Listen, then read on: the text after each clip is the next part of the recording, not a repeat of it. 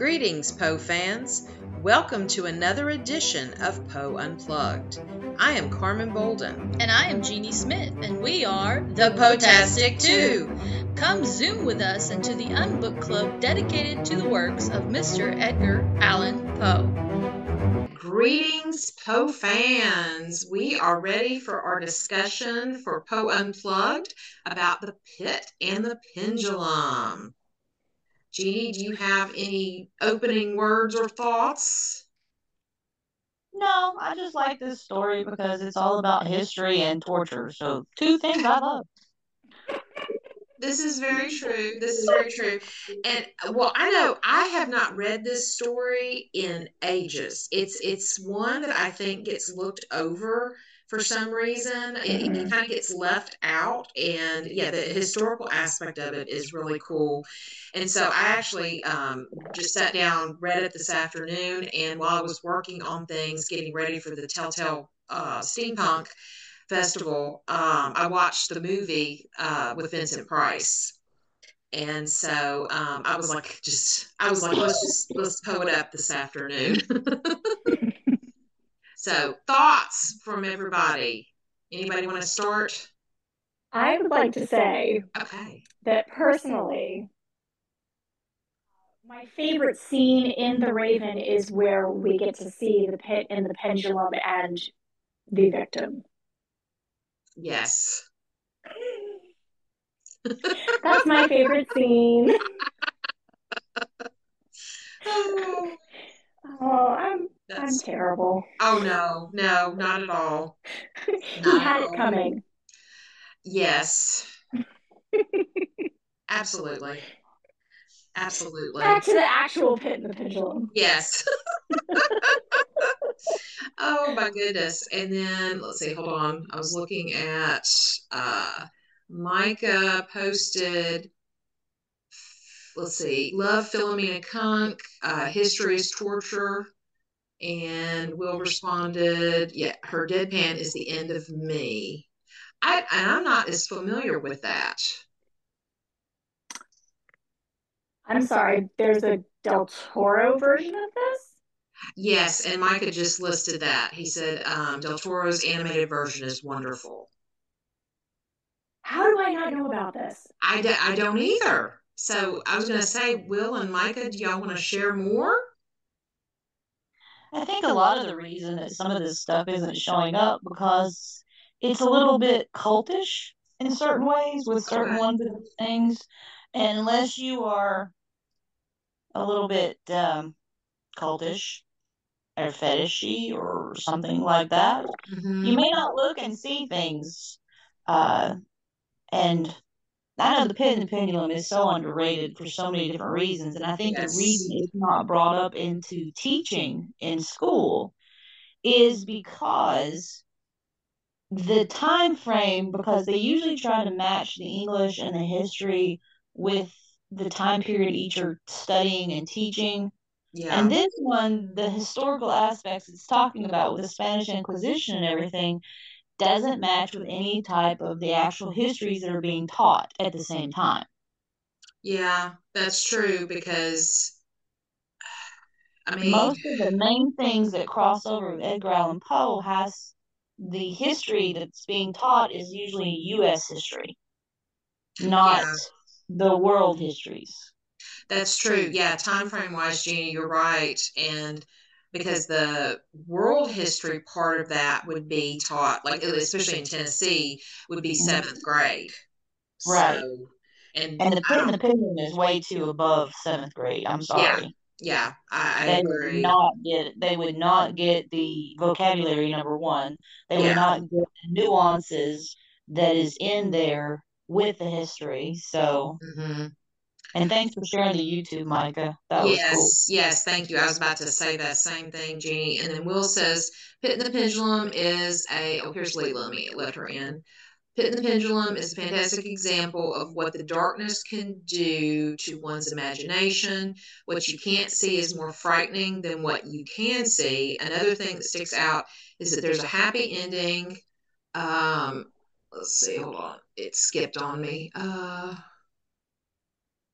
um, he's saved by the LaSalle, I don't think of happy endings with Poe. That is very true. That is very But true. on that aspect, was it truly a happy ending, though? Because the French were the enemies of the Spanish at the time due to, you know, due to the wars that they were going on. Because, you know, Spain, England, and France were always trying to kill each other. Uh, so you got the Spanish Inquisition that he's kind of getting away from because he's being saved by General LaSalle from the French, but now he's in the clutches of the enemy. True. So what we have is the unknown, which what Will was talking about. That's the biggest thing most people are afraid of Yeah. is the unknown. And now he's just going from the known because he knew he was going to face his death with the pendulum. But now he's got a savior that he doesn't really care if he's going to uh he doesn't really care if he's going to into the enemy clutches of the French who they're currently fighting with. He just knows he's escaped certain death to now has hope again, which I think is part of the whole pit and the pendulum. It's all about hope and perseverance and not giving up hmm because that's the thing. He comes up with the idea of using the rats that are waiting for his demise so they can have dinner. Yes. Oh.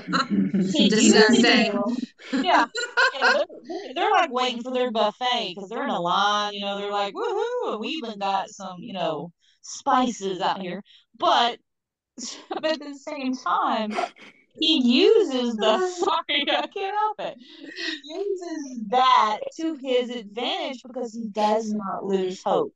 Even though there's nothing but darkness, there's nothing but, you know, that fear, that you know, just heaviness of knowing that if I don't do something, then there's nothing going to be left to do. It's over. Yeah. So Yeah. Darkness and nothing more. Yeah, Exactly. sorry, I'm crossing over. Um, yeah, Never I- yeah, Jeannie, I, I do agree. And um, a lot of things kind of resonated with me when I was reading it at the very beginning. Uh, and I've got like, I don't know if y'all can, s well, I'll show you. I have po post-it notes that I made, had made. Um, but one of the lines at the, this is like the very first page of my book, um, the blackness of darkness supervened. No. All sensations appeared swallowed up in a mad rushing descent as of the soul into Hades. And that so reminded me of Dante's Inferno. Just all the levels of hell, because that there's so many um, allusions to that throughout the whole story. It, you know, because he he wasn't sure, you know, where he was with all that darkness. But it also brings into the point, what you're saying, with the levels of hell, with the nine rings of Dante's hell, he Mhm. was literally thinking he was going forward and going in a certain direction. But when he finds out, he literally was walking in circles and going to the lowest point, knowing that that lowest point was where he landed on that flat surface with that pendulum coming for him. And it was Mhm. slowly being lowered to each, you know, each time in his level of hell. yeah. But there's such the religious in this that I was like, oh, Poe is really breaking out the religion in this with the numbers, with the the different aspects of death, uh, the unknown, the levels of, you know, our own mortality type thing. hmm Because the Yeah, I was actually. Yeah, I was gonna say, Jeannie. When I was actually listening to this again last night, I thought of you. I was wondering if you were gonna do something with like the seven candles, like with a Yeah. religious aspect with the seven candles. The seven. Yeah. I was thinking seven dozens. Oh yeah, that's a good time, that tie-in, Molly. rang a bell with you. Oh yeah. Yeah. Um, see, see, she's getting me. So yeah, the Well, I know I moment- said, that's like Jeannie's gonna have a religious thing because, like, I mean, I know he it does like allude to religion. I was thinking, I was wondering if Jeannie like had, uh, because like I'm not very versed in the Bible. I'm like just gonna throw that out there. You know what I mean? Even though I went to a Catholic high school, but like I'm not very, uh, I don't know a lot. So I'm always interesting for her tie-ins there. Yeah. Well, I have to say that I wasn't raised Catholic. I was raised Southern Baptist, so you can you can impart into that what you would like, you know, because that's why my life was surrounded by a lot of the the religious connotations, but Mhm. that's okay. But not only with this, but there was one thing that struck me when he was talking about the steps because the steps added up to a hundred and then he added the other paces to it. And the Mhm. first thing that popped in my head was like, huh, I wonder if he's alluding to the Hundred Years' War. Oh, That actually lasted 118 years, by the way. yes, yes, Oh yes, it did. yeah.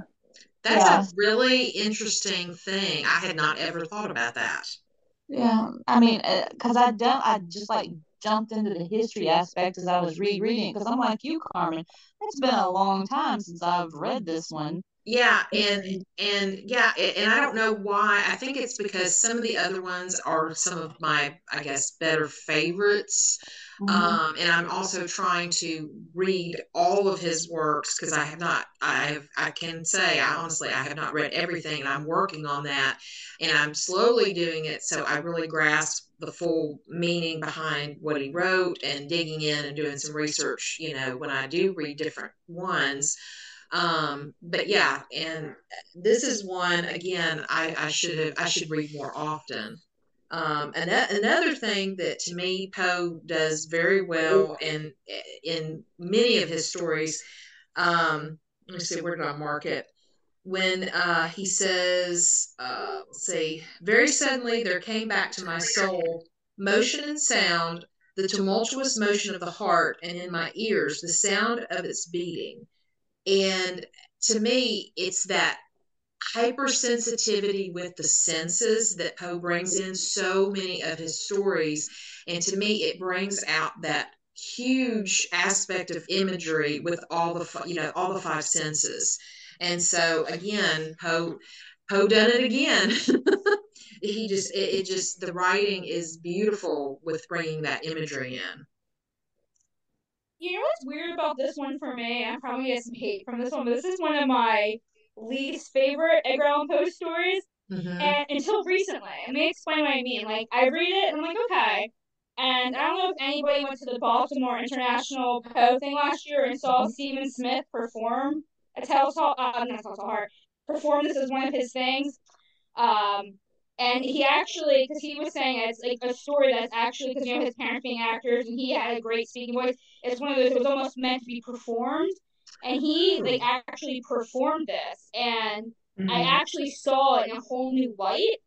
I mean, he was just seriously there, and he like had a chair where he was pretending to be like strapped to the chair, and the whole scene with the like the rats and everything, and it Mhm. really opened my eyes from a story that I was kind of just like eh about. Like, I mean, don't get me wrong, I still like it, but in comparison to other things, and I was like, wow, when you actually saw him act it out and think of it in terms of that, it just made it so much more powerful. And like now, it's like, I mean, it gave you chills. I mean, he was like, he's a great actor. He's like sweating and everything as he's doing it. I tried to find he has a YouTube channel, but unfortunately, he only had he doesn't have the full thing on there.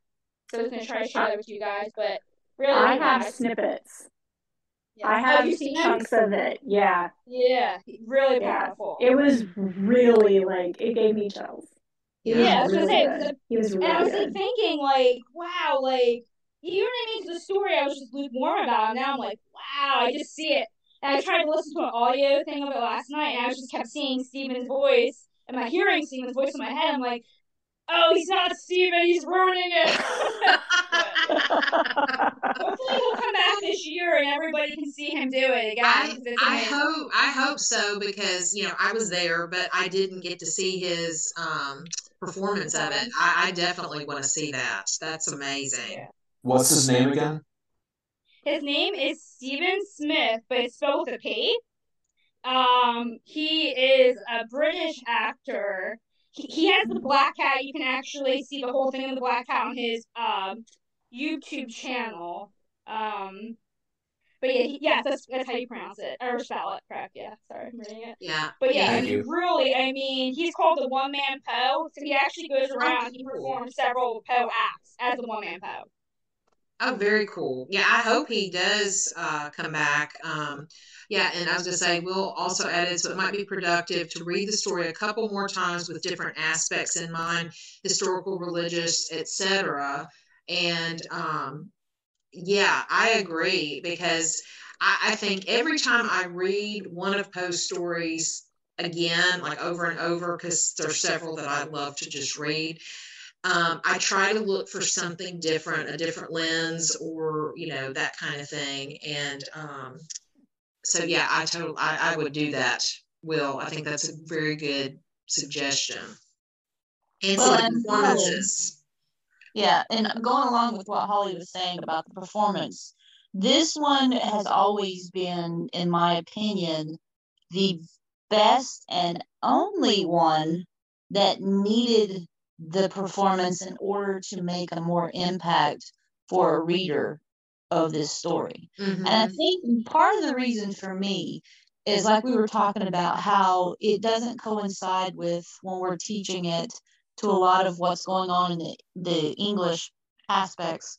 So it, it does have a very high level of language. It does have a high level of literary terminology and, uh, you know, figurative languages along with literal languages so it is a very difficult read unless you reread it several several times and Yeah. like we're talking about there's always a interpretation from different points of view like different backgrounds different people that you know male female you know religious uh parts of the world that type of thing Mhm. that can change the reading and change the interpretation of this story. And I always think of Edgar as being, wow, he really was into that stride when he did this story because he was he was hammering home a lot of aspects. Because you know, most of the times we had the murders of the Rue Morgue, which was taking place in a French area. But this was his first depth, and I think is really cool that he was showing the bad side of Spain, but then was portraying France as the victor, as the uh, savior. So he had a love of. For some reason. I don't know why. Yeah. Um, yeah, and he also kind of like you don't find out that you know this was the time of the Spanish Inquisition, and I have to just throw this in, out there that it makes me think of Monty Python because my husband will bring that joke up multiple times. Anyway, sorry, just a little humor there. But yeah, it's like Poe doesn't reveal that. It's like you know he's done something, and then it's like okay, this is the the times of the Spanish Inquisition, and he says he this the character the narrator who we know is not reliable because he's you know in a hallucinant hallucinogenic state at one point after he you know drinks that water and all that kind of stuff. But you know, he he admits he's sinned but we don't know you know is it just because he is not catholic or is it something else? You know any thoughts on that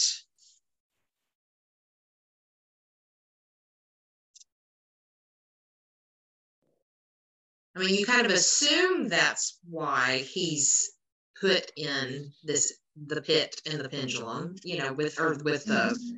this area, this dungeon, I should say. Well, that's the thing with the Spanish Inquisition. It definitely had its own religious connotation that you were going to suffer because of your religion. Right. But at the same time, But they killed people for other things too. that's what I'm saying. Mhm. It Yeah. could have been anything. And he never really, you know, says outright what it was or what it could have been. You just Because- assume. Yeah, you just had to actually interpret and in your own aspect think of putting yourself in his position. What do you what would you have done to rate such a torturous ending in Mhm. life? Mhm. And well, one of the things that always struck me was the loneliness. It's not Yeah. just the unknown, but he knew that there were there was somebody watching him, Mm-hmm. he didn't know it. He couldn't see it. He just, you know, he was in a darkness. He was, you know, cut off from everything. He was facing his own torment. The But food would show always- up. The, Yeah. You know. Yeah. Somebody was always giving him food and water, but what was the was it a good thing or was it a bad thing? Because he would always fall asleep right after he had the food and water. So Yeah. And then that's when he like ended up on the Stockholm. table. Yeah. because I always think of the Stockholm syndrome too. You know, Mm. this is another aspect of the torture. That's know, a very good point too. Yeah, I guess like what I was thinking about what Jeannie was saying before about like or like Carmen, like what did he do to get there? I guess I kind of always looked at the story as kind of like maybe like his Edgar Allan Poe's outlook on war in general, about Mhm. almost like its silliness. Like you're basically in prison, whether it's religion for whatever reason, you're on the wrong side, you're in prison. But then the next day you're liberated and you're a good guy. So to me, I kind of always thought of it as a story of you know, um, just unfortunate circumstances and just kind of like that silliness, like, you know, you're the bad guy, you're the good guy. You know what I mean? Kind of that back and forth from being the victims being liberated. Because I Mhm. guess I was kind of like what Will said. I always kind of thought at the end that he was saved. I never actually thought of it maybe, but now I am kind of thinking like, well, maybe saved to what? Uh, but I Yeah. kind of always saw of it as kind of that flip flop. Not necessarily what he got to get in there, just kind of how you know, because he in the beginning it says like he, other people were sentenced to death, and it's kind of like he kind of just got caught, Yeah, wrong place, wrong time, but it could happen to any of us in a situation like that. yeah. Um, and Micah added, I had always imagined he left the toilet seat up or something. So add some Right. humor in Or here. that.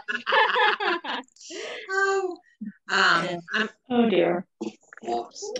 Oh, uh, we have somebody who's joining us. Poe. Say hi, Poe. Hi, Poe. Are you? Oh, pretty. He might say hi, but he wanted to come up and Oh, so cute. Thank you. All right, he's he's ready to go. Go. He's like, I've had my moment. I'm done. Yes. Oh, earlier he had come up by my leg. I was gonna grab him, but he he like mewed at me and then went on. Uh, let's see. Oh, uh, and Mike said hello, Poe, and then uh, Will says my Elsa is in the room with me, and I'll try and show her off too. She'll love me. Oh, awesome! Yes, we love to see the cats or the dogs. You know, but um, I think most people have the cats. but I have two actually. Oh, okay. Oh, great, great, great, great. I'm just I trying to talk two. charming. Okay. Lily, you said you have two. Pretty cat. Yeah, yeah, Oh. At my feet. Oh, cute, cute. Very Oh. cute. Yeah, mom was giving you guys the butt earlier, so I oh. couldn't be off. So this is this is the baby cat, just so you can see him. He's been trying to get me to pick him up, but he Oh, won't stay. This is Gabriel. Gabriel. seven. Oh, hi, Oh, Gabriel. I said, Virginia, I think we got to see all of yours tonight. Miracle of miracles. I had to. Yes. There was a moment where I don't know what happened, but Elliot was being chased by Lucian, and they came tearing through the living room and almost knocked my tripod over. And I'm like, oh god! So that's what all that was, and I had to snatch up Elliot. He is now, of course, in my lap. Actually, you might be able to hear him purring. He's very loud. That's Um, funny. Yeah, so I was like, oh my god, you guys. Oh, um, oh, I was So looking one at of the aspects that I wanted to bring in about the pits and the pendulum that Mhm. Ed probably did was he never actually gave a name to this character. No, and he does. He, and he does what he is kind of famous for is the unnamed narrator. the unnamed. I'd like to raise a glass to yet another unnamed narrator. Yes. Yes. But here's the thing. I think he did it purposely in this opinion, in my opinion on this one, because this could be any of his characters from his other works that needed to be punished for something. Mm-hmm. Think of the black Hmm. cat, the guy Yeah. from the black cat. You know, think of the cask of Amontillado. That could be either the one that got walled up or the one that walled it up. So it fits with any of his characters that they're having to face the consequences of their own actions. And Telltale Heart, Oh. Telltale Heart is the Mhm. narrator. for the whole thing because you really it takes a while to put it into perspective that when it's taking place and what's happening as a Right. historical aspect. So it could be any one of those characters facing their own actions from the books or from the stories. Yeah. And one of the things that I thought was very interesting while he was on the table and, you know, the pendulum was swinging and he realizes it's, you know, coming down towards him, he focuses on his garment. Where it, is it going to cut the garment, not himself? And so I Mhm. thought that was really interesting. And it's like in his kind of dazed, confused state, his, you know, fear of what was going to happen, did he focus on that like because he was trying to distract himself from the reality of what was about to happen? You know, I just I thought that was kind of genius how Poe did that. And it's like, you know, hopefully none of us will be on a table with a pendulum swinging down upon us. But, you know, you don't know how you're going to react i until you're in that situation. Yeah, and Unless it's Rufus Griswold. That what now, Virginia? I said, unless it's Rufus Griswold and, and it can That's swing, true. baby, it can swing. That's true. Yes. And Michael says, unless you're into that kind of thing. Yes. oh, goodness. Oh, Yeah. Jeannie, uh, which, which kitty was that? Freebird. Okay. Hi, Freebird. Yeah, she was making herself known by laying on me, so you know. All right. But yeah, I just I wanted to bring that up because that was something else that you know, um, it was like it, it wasn't distracting in the reading at all. It was just kind of interesting. And again, I, I have not read this in years, and I'm really glad we decided to discuss this story. And then when I started watching um, the Vincent Price movie, I started thinking about things because I used to watch um, horror movies, especially like the Universal Monster type movies, with my dad growing up. He introduced them to me, and I would get scared in the middle of the night after watching them, staying up eating popcorn with him, and you know I'd be, you know, mom, dad, you know, in the middle of the night because I'd be dreaming of horrific things. But then my brother, one of my brothers, and I also used to watch like Christopher Lee Dracula movies after school some days. And also, I remember, I'm pretty sure watching this with my brother. So I'm going to actually send him a message and just say, Do you remember us watching this together? And it kind of just brought some nostalgia to me. And it was just kind of like, I think I, I, I don't, you know, the first type of thing that I read from Poe was The Raven, Murders in the Rue Morgue. But I think further back, I think I saw some of these Vincent Price movies, you know, before I realized I did. And that brought that memory back to me. And I'm like, wow, I've been seeing Poe a lot longer than I thought. so Yeah. it's just kind of a cool memory. Hey, I have another religious aspect. You want me to throw it out there for you, or you guys Yes, yes. want to jump in to see what I'm gonna say? Because let me let me let me just throw this to you. When you were talking about his outfit, the shroud of his outfit, Mm-hmm. him being covered by it, and then all of a sudden him rising from it because it was thrown away. It was eaten away by the rats, and he was resurrected. Mm-hmm. There you go. Wow. I never even thought about that. Yes. Yeah, because the Oh. aspect of his outfit, which by the way I think is really strange, who actually dressed him? Because that's just creepy on another level. You know, we, we're we're having some D, BDSM torture chamber things going on here. Um, but think about it. He wakes up. Yes, a creepy Easter. Very good. I'm glad I did it. All right. Oh yeah, and well, and Um, Will Will says when he laughs and howls. Alternatively, one thought I had was that whoever was monitoring him would want to slow the torture down because he'd no doubt not want our unknown narrator to enjoy the torture. Just a thought. Absolutely, yes. No, but I was actually thinking about that when I was thinking about him being sh- in a shroud, lying on a Mhm. slab, him facing his own mortality and darkness, and then he manages to uh, erect himself after, you know, after lose not losing hope and all that. So I was like, yeah, that could be strong in there too because he's raised out of the the pit yeah, and into a savior aspect because the French general saving him from his fate. yeah, So yeah, just wanted to throw that out there too. yeah. Okay. Anybody else have any other thoughts on what you kind of picked up on in your reading or watching Vincent Price? No, everybody does love Prince Price. Just watching him. Period. oh, I know. I have not seen that one. It's funny, is it popped up yesterday, and it was too late to watch it before this. But I did see the one with Bela Lugosi where he had the torture chamber in his like basement. He's like a doctor.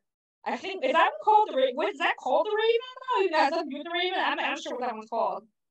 Uh, let's see. Um, Yeah. Morgue. Yeah. Because Bela Lugosi had the uh, where he would strap the woman in the thing in the basement. Is that the one you're talking about? Yeah, because I saw him. He also did the one with the Rue Morgue where he was like injecting like the gorilla Yeah. DNA into the Yeah, that girl, was other so- things that they would probably Yeah. use the same set for. But yeah, Oh, yeah. I And think- um, Micah also said, I want to thank Edgar Allan Poe for inventing the world's first escape room. I had not thought about that. That is an excellent point. There is another uh, um, a tribute to uh, Mr. Poe.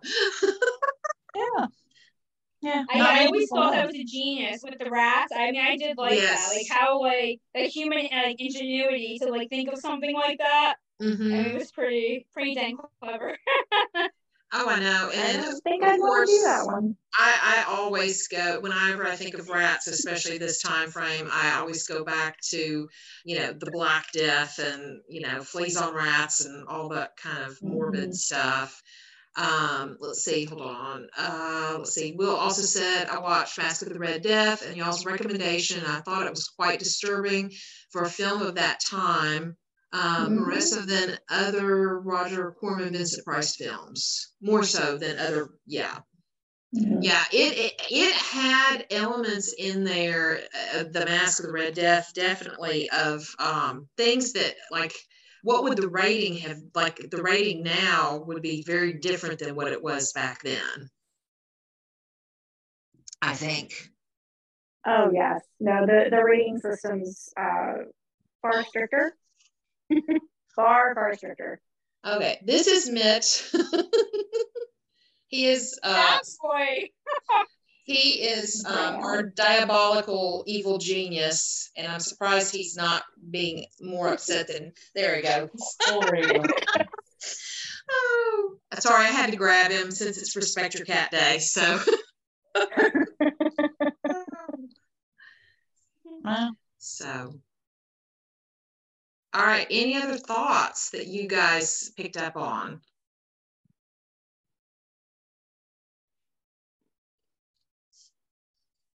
And I think. I think. guess I just always thought. oh, I'm sorry, Carmen. No, no, no. You go ahead. You go ahead.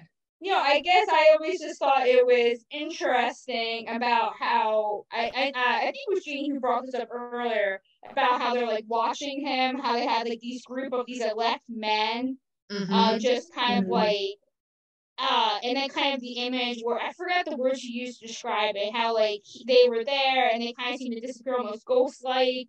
I'm totally like paraphrasing. Obviously, it was worded way nicer than that. But uh, yeah, I guess I I think that's like a kind of like a weird aspect of it. Not only is he in a torture chamber, but someone's getting their jollies by like actually watching it. Like uh, uh, yes. like, like Michael was saying with like the, the uh, escape room, it's kind of like that version of like a Saw type thing, where someone's like really like enjoying. Because I mean, at the end of the day, I mean, executions are executions. You just kill them, like. And back to I think the point you guys were saying earlier, like, well, why is this man just not hung and he's tortured, and why are they Right. watching him? And then and yeah, just kind of a weird scenario, I guess. Yeah, that. Let's see, and then let's see. Mike says, "I love the Dante's Hell comparison. Thank you for that. You're welcome." As you say, a new perspective each time. Yeah, and I, I think if I read this in a month, six months, couple years, whatever, I'll probably pick up on something else different. Um, one thing, I, when I was um, looking up the movie this afternoon to put on while I was working on uh, our things, um, it came that was you know Vincent Price's came up first, and then right after listed was the version from I just looked it up on my phone, in 1991. And what's interesting, it says it's a horror film, and I have not seen this version. Has anybody seen the 1991 version? Who's in it? Uh, let me see. Hold on, I can tell you. Uh, let's see. Actually, it's billed as horror romance. Uh, Ooh, that sounds sexy. With what? The rat? um, yeah, I was gonna say, Lord. what is it with the rats? yeah, so Lance Henriksen, uh, somebody named Stephen Lee, William Norris, Mark Margolis, uh, let's see, Carolyn Purdy Gordon, Barbara Oh. Bocci, Benito Stefanelli, Jeffrey Combs, and then I mean there's other people too, but I mean, there's there's actually quite a few people in here. Yeah, I but think Lance Micah Henriksen Sounds is, you know, huge in horror. But I know I have not seen this particular version, but the um, synopsis says horror film set in 1492 Toledo, Spain, depicting the cruel deeds of a monk named Torque- Torquemada. Torquemada, Grand Inquisitor of the Spanish Inquisition, and Lance Henriksen plays that role. So Huh. that would be an interesting version to check out. Yeah, because I know Jeffrey Combs has played Edgar Allan Poe multiple times. Yes, he? Like in like yes, other, he yeah. has. Yeah. Yeah. Micah put the link on IMDb in chat. Oh yeah, thank you, Micah. Yeah, that's interesting because I I have like I created a, a Google Keep with all of the Poe movies, like everything. Like I copied it from the internet, um, googling like Poe movies, and it's a huge list. And some are like kind of shorts, some are documentaries and things like that. Um, and I, I kind of like cross them off the list as I watch them.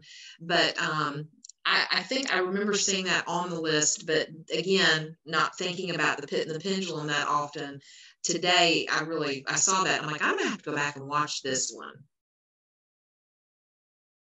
My thing is with some of the movies when they have to deal with books or poems or anything like that, I am not very um, into watching movies that have been recreated from books because they always seem to get something wrong that pisses me off, yeah, and I just don't want to watch it. Uh, because I spend more time critiquing how badly they did rather than paying attention to who's ever playing in it or their own aspects. yeah, Now, I'm not saying all of them are that way, but there have been some horrific, re, you know, reproductions. Adaptations, yeah. No. yeah. Um, Will said, and I think this is a really good point. He said it just occurred to me that the main character may have been Jewish or Muslim. He talks about seeing their lips move, and a quote, "I saw them fashion the syllables of my name." That is a very, very good point. Yeah. And that would make sense because, I mean, the Spanish Inquisition, if you weren't Catholic, you were a heretic. Um, And, you know, and also the other thing that a lot of people forget the Spanish Inquisition was responsible for more people dying that were accused of being witches than the Salem witch trials. And um and it's ama- it's like I think hundreds thousands of people died from um being accused of being a witch. I mean it was they lumped everything into you're a heretic. Yeah, because they had the Moors and they were also so they were they were also considered the equivalent of a witches, just the Mhm. Moor group in it in itself. Yeah. But you know, Mhm. if you weren't Catholic or if you weren't Christian, well, even some Christian based faith, you know, like the Protestants, we'll just we'll just lump them either you're in the Catholic or you're a Protestant because anything's not Catholic is a Protestant. Right. Uh, so if you weren't a Catholic, then you got screwed over many times. You got killed, you got tortured, you got because you were a heretic. You were either a witch, a demon, you know, Mhm. had to die. Yeah. Um, but yeah, Poe really, I think Jeannie mentioned this before um, about, well, I brought up the imagery, but Jeannie mentioned it before. This is, I have never seen this as part of a curriculum for any grade level to teach in school. And I think a lot of it does have to do with the figurative language because there's, you know, also symbolism. Um, he personifies the pendulum when um, he's talking about it. Um, and kids, especially nowadays, like that, that's one of the things we're about to get ready for our, our state test. And that's one of the things my kids are struggling with is they don't get that abstract concepts of figurative language this one is so heavy in it. I think a lot of students, especially not having that historical background plus the abstract thinking, would struggle with this story um, until they're older. I, I really think that. Definitely. All right. Any other thoughts? It's okay if if you don't.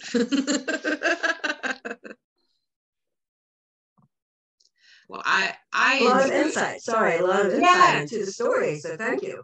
Oh. Learned a Oh, lot about it.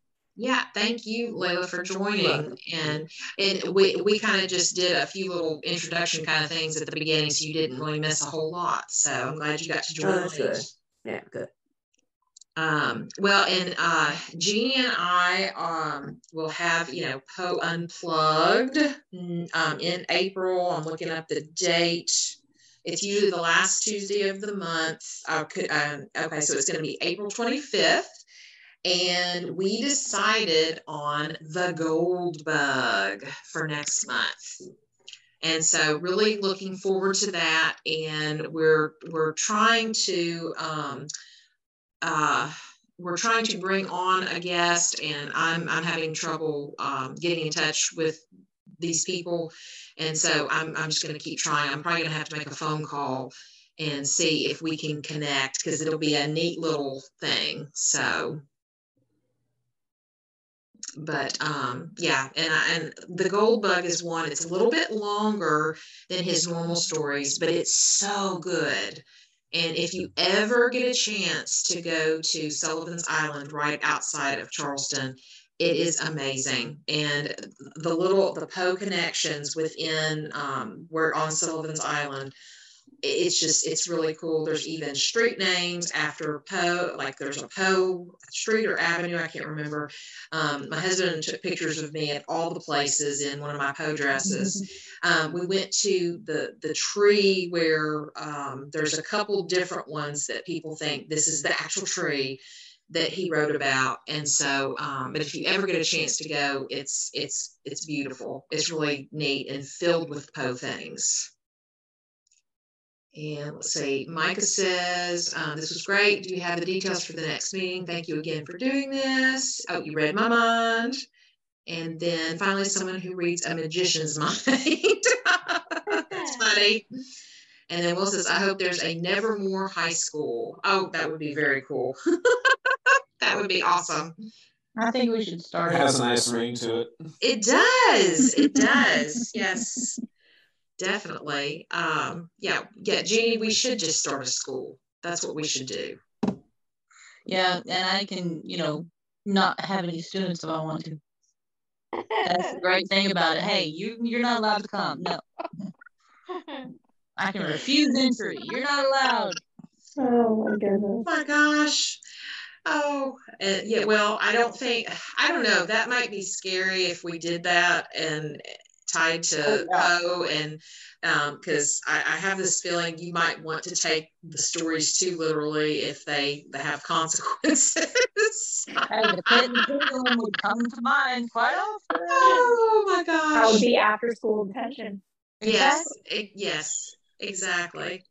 After school detention, then I could think of, you know, we could have the black cat, you know, and then that way that would be um, suspension. The, the cask of Amontillado would be, you know, lunch detention. I'm just saying.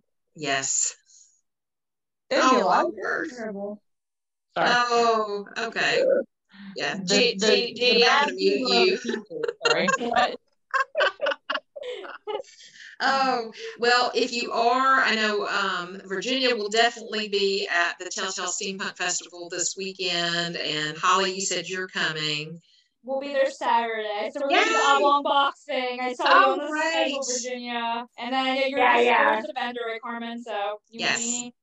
Yeah, we'll be there. So if if you you are in the area or know uh, anybody up in that area, tell them to come out to it. Um, I think it's going to be a lot of fun. There's a lot of neat activities to do, um, not just you know the vendors to come visit us, but um, yeah. So it's I think it's going to be awesome. So We are ready. All right. Well, I think I think we have I think talked through the pit and the pendulum, and um, if unless anybody else has any final thoughts. Have a good trip and a good time. Oh, Thank you. thank thank you so much. Yeah, we we actually just made a decision to uh, start driving tomorrow evening and drive part of the way, and I think we will not be as tired once we get there because we're we're going to take a little detour into Delaware first and uh, drive over to right across the border to New Jersey because Jeannie doesn't have that as a state, and then drive down into Baltimore on Friday. So. Jersey strong. Come on. Yes, Jersey. yes, yes, Oh my yes. gosh. I've flown over it several times. Oh, What yeah. am I- I, I have at Walt Whitman's grave. I've been to Walt Whitman's grave, so You know what's sad? I actually have not, so that's Ah. horrible. But it's it's a you, Holly. You need to go if you have a chance because it is a beautiful cemetery, and his grave. It's it's just it's it's absolutely gorgeous. It really is. very what pretty. cemetery is it in? Oh, if you hadn't asked, uh, Is, is I that, don't is know it, if it's that is. real famous one, I've actually been to it, but I don't think I've actually the one where all the celebrities are buried. uh, let I can't think of what it's called. I get emails from them because I sign up for their thing, Let's but I've never actually been to his grave. Leela, did you say the name of it? I heard No. Leela say something. Uh, Okay. it's No, it's no, I don't. Don't it's okay. It's Camden, New Jersey, Harleigh Cemetery. I just couldn't remember the Okay, name. okay, yeah, I'm thinking of a different. I'm thinking one in Pennsylvania. Okay. Okay, okay, Wilson Westminster Presbyterian. So okay, okay. So I just yeah, I quickly looked it up. Um, all right. Well, thank you guys for tonight. I think this was a great discussion, and I, I think sounds like that many of us really did revisit this story um, from years past, and so that's really kind of cool. So. All right. Well, we thank everybody and we hope to see everybody back in April on the 25th for the Gold Bug. Thank you. Thank Well, you. you. Be there. Y'all have a wonderful night. bye, y'all. All right. Bye. Have a good Bye. evening. Holly, see you soon. Yes. Okay, is Jeff going with you guys, or you guys just doing a girls trip? Uh, Just a girls trip. So, Uh oh, that's Yeah. trouble. Ah. Alrighty then. I will see you guys Saturday. all right. Thank you. All right. Bye. Bye, bye guys. Bye.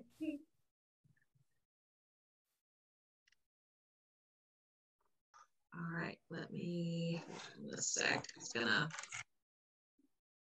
Give me just a moment. I'm trying to hit the.